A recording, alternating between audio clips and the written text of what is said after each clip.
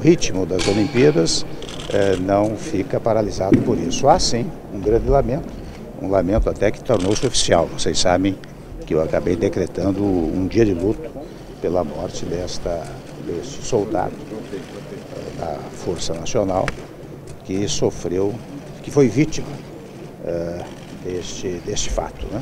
Mas não, isso não, de, não deslustra as Olimpíadas. As Olimpíadas estão transcorrendo num ritmo normalíssimo, com muitos brasileiros ganhando medalhas. Noto que eu tenho absoluta convicção de que as Olimpíadas vão fazer com que o Brasil, mais uma vez, seja reconhecido pelo mundo.